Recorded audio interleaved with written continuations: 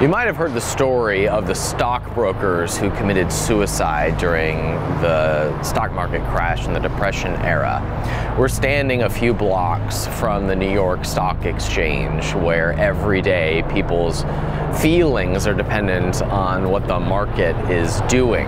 You know, we're walking around this area right now, and if the market was booming right now, or if business is booming or if it is crashing, we don't know because we're out here in the real world.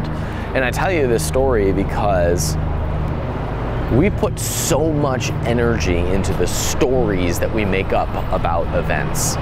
Your life, no matter what is happening in the real world, is actually how you feel about it is actually come down to the story that you tell about yourself.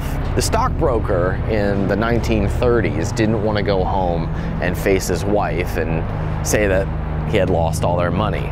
There was a story that played out in his head, or he told a story that he was a failure because of the money that had been lost. Or, you know, in this crazy world of cryptocurrencies, we have a bunch of so called experts who believed a story that they're successful because they bet on the right cryptocurrencies. Now, stories can be beneficial or they can be harmful, but the truth is that the stories that we play in our head are not necessarily connected to the real world.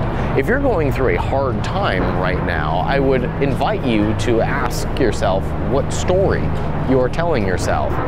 If your things are going really well right now, I would invite you to say, is there a chance that you have bought into a story that is not actually true.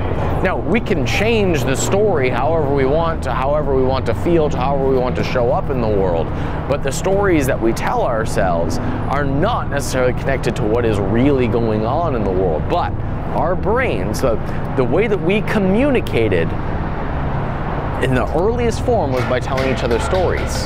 So our brains are wired to believe them. This is why we get so defensive of the stories that we believe about our political beliefs or our religions or what happened to us. People tell you their life story. No, no, you don't know. You don't know what happened to me. No, no, you don't know what I have been through. Now, I'm not saying that stuff does not exist. I'm just saying it's a story. And we can rewire the story. We can change the story. We are, we are manipulating the story all the time. We can change what the next story is. You can choose which parts you believe and don't believe. And the stories that you end up believing affect your actions, they affect your happiness, they affect everything about your life because that is what our brain interprets is true. So hopefully you never have to go through a stock market story where you consider harming yourself.